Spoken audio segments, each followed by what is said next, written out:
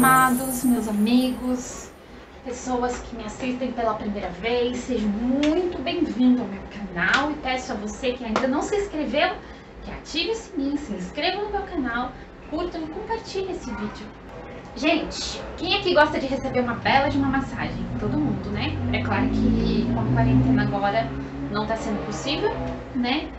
Mas é, logo será. Eu tenho fé nisso, né? É só mais uma crise, mais um momento ruim, mas que vai passar.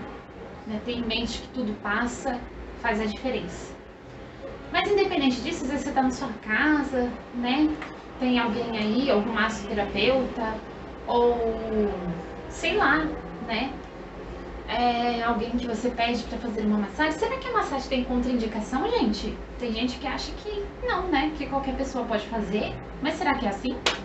Bom, vamos lá. Eu vou falar um pouquinho, né, com você, porque a massagem não é tão superficial como se parece, né? Outro dia trabalhando, né, uma moça queria o meu receber uma massagem minha, né? E eu simplesmente perguntei, fiz as perguntas clássicas e perguntei se ela tinha alguma cirurgia recente em menos de três meses. Ela tinha feito uma cirurgia com uma semana. E eu fui explicar para ela que ela não poderia receber massagem naquele momento, que ela teria que esperar até o terceiro mês.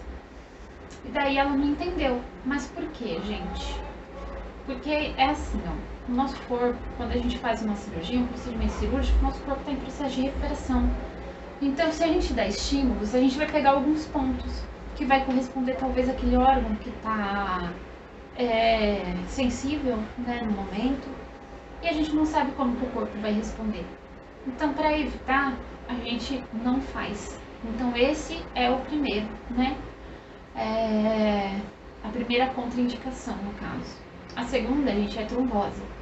Para quem sofreu, né, ou sofre de trombose, ou quem já teve, mas que ainda faz menos de 5 anos, né, que, é, que teve o problema, não pode também porque a gente vai ativar a circulação.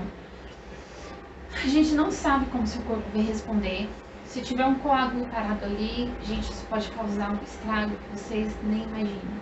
Se tiver um trombo parado ali, aquilo pode ir pro coração, pro cérebro, né? E dar alguma complicação maior aí, né? Então, não é recomendado. Gravidez, né? A, com menos de três meses a gente também não atende, não recomenda. Por quê?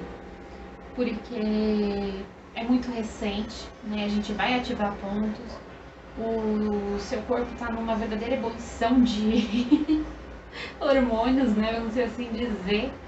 Está em erupção ali, todos os hormônios agitados, a gente não sabe como que o seu corpo vai reagir aos estímulos e como que isso vai afetar a sua gravidez né? Então a gente não recomenda. Até porque é aquela, né? Às vezes a terapia em si, né? A massagem, a reflexologia, porque essas dicas que eu tô dando, gente, serve tanto para massagem como para reflexologia.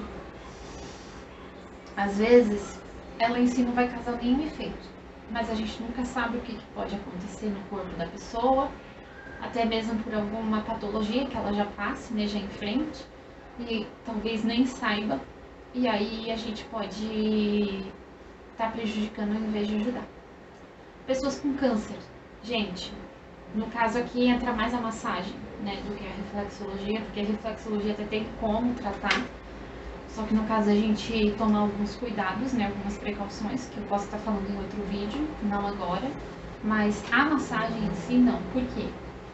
Se você tiver metástase, essas metástases podem aumentar dentro do seu organismo ou fazer com que, se não tenha metástase, que passe a ter. Então é melhor que ou não receba ou que peça é, uma orientação do seu médico, né? Mas por via das dúvidas a gente recomenda não fazer, tá? Pressão alta, tem que se ter alguns cuidados, né? Porque tem uma veia no pescoço, né, que corresponde à nossa pressão sanguínea. Ou seja, na hora que a gente estimular, pode ser que é, a pessoa tenha algum mal-estar, principalmente se ela não tiver em dia com a medicação dela. E lembrando que nenhuma terapia né, integrativa substitui um tratamento médico. Tá? A gente trabalha assim em conjunto, mas nada né, é, substitui o tratamento médico. Então sempre peça orientação do seu médico. Se você já faz algum tratamento, não pare. E importante lembrar que, né, ressaltar aqui que essa da pressão alta que eu acabei de falar é mais para massagem, tá? Porque a reflexologia tem como a gente tentar pelo menos dar um alívio aos sintomas, né?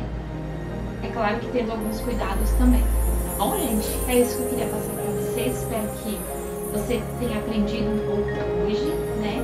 Deixe seu like, curtam, né? Aí, compartilhem. E gratidão por ter tirado tempo para me assistir. Até a próxima.